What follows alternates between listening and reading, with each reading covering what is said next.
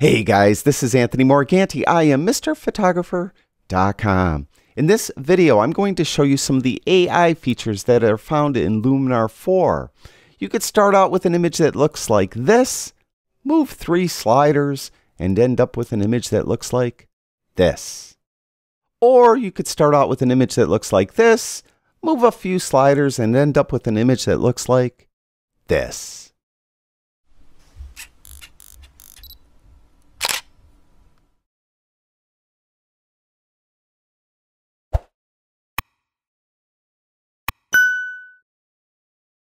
I've been teaching people how to post process their images for maybe the past seven or eight years. And over that time, I've seen a lot of different attitudes towards post processing. And really, you could kind of divide those attitudes up into three different groups.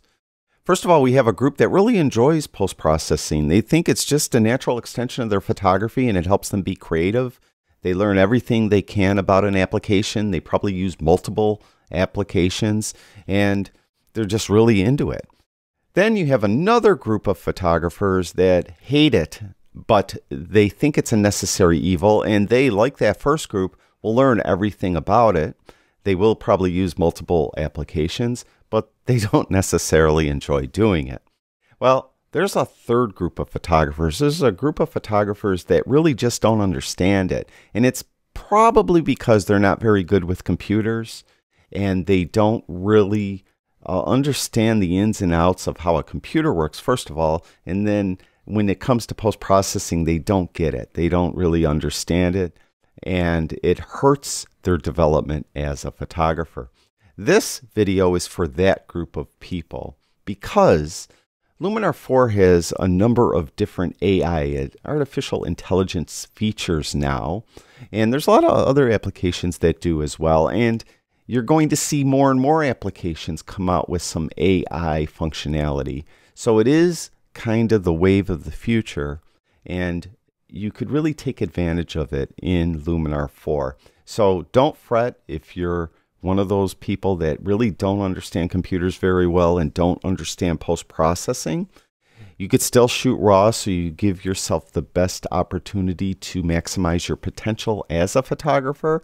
Then use the AI features found in Luminar 4 to process your images. And we're going to do a few different images here, and I'm going to show you what I'm talking about. For example, I have this raw file here, kind of a mundane shot, and maybe I don't really know where to start. Well, with Luminar 4, I could just go to AI Enhance and I could use the AI Enhance slider and move it to the right and you could see it improve the image already. I could go to the AI Sky Enhancer and move that to the right and you could see that once it renders, all kinds of detail came out in the sky that we didn't even notice at first. There's before and there's after.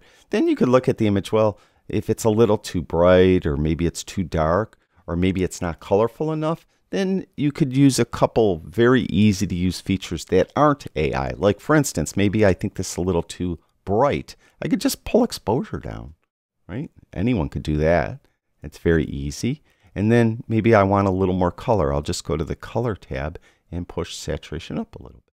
So I moved like four sliders. There's before and there's after. There's before there's after. Let's try a, a different type of image.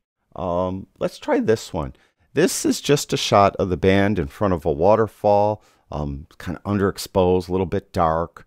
Um, so we'll try this. We'll go to AI Enhance, and we'll move that AI accent, accent filter, a slider to the right. And I moved it all the way to the right. You could vary it depending on your image. And you could see how it already dramatically improved the image. There's before and there's after. Now there's no sky in this image. Now we could go to AI structure. AI structure knows the elements in a shot and it will add structure in varying amounts to the different elements, meaning it recognizes a face in the image and it won't add structure to the face.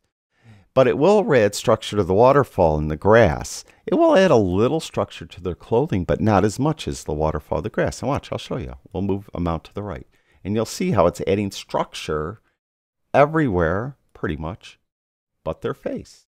Isn't that cool? And we could boost it as well. And um, for this image, because there are faces in it, then we could go to the uh, portrait panel and we could go to the portrait enhancer. Now, there isn't anything saying here AI, but the portrait enhancer does know where their faces are. So you could like brighten their faces up with the face light. And you can see how it knows where their faces are. So that is an AI feature, even though it doesn't say AI portrait enhancer. So you could do anything here with that. But let's say we're done. There's before, there's after. I think I moved maybe three sliders. So very, very quick uh, type of work there. Um, let's let's do a portrait. We we touched on portraits already. Uh, so we're in the portrait tab and we'll just go to the AI skin enhancer first, which is this first one. It's a single slider. We'll move that you know to the right to soften her skin. Uh, if she had blemishes, we could do that, click that, but she doesn't. Then we could go to the portrait enhancer and we could brighten up her face. We could uh, whiten her eyes. See, it knows where her eyes are. We could enhance her irises. Uh, we could slim her face, doesn't need it. Enlarge her eyes. Her eyes are huge already. We don't need to do that. Let's darken her eyebrows a little bit so it knows where her eyebrows are. See that? Um, we could add a little saturation to her lips, a little redness to her lips, a little darkening. But, I mean, there's before and there's after. And then if you want to do other things, let's say you want to add a little bit of an Orton effect maybe to the image. So there's before, there's after. There's before, there's after. Look how quick that was. What a dramatic uh, change. Uh, let's uh, do another one with people in it. Uh, this kind of an engagement shot, very, very simple shot but it's a little dark because the sky in the background was so bright. So we'll go uh, to the Essentials tab. We'll go to AI Enhance. We'll take the AI accent, move that to the right.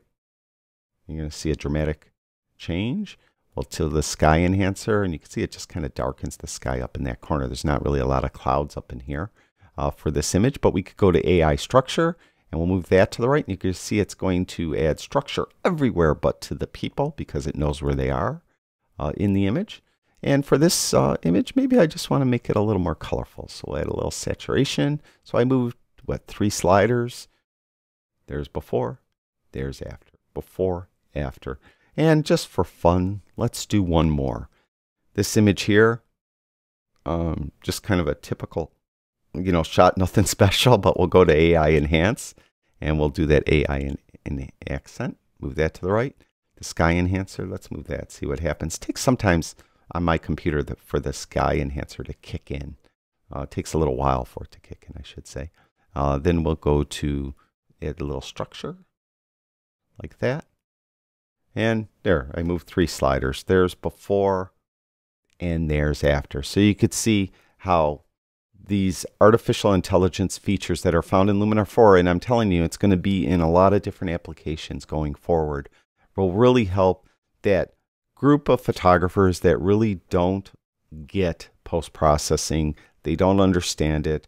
They maybe will shoot JPEG because they don't want to post process their images. Well, they'll be able to shoot RAW and then post process them at least somewhat. They could move, in my case, maybe I moved uh, AI accent too far. Maybe they'd want to move it less, you know, and, and stuff. So they could still add a little of their own personality and creativity to their RAW files instead of just shooting JPEG all the time.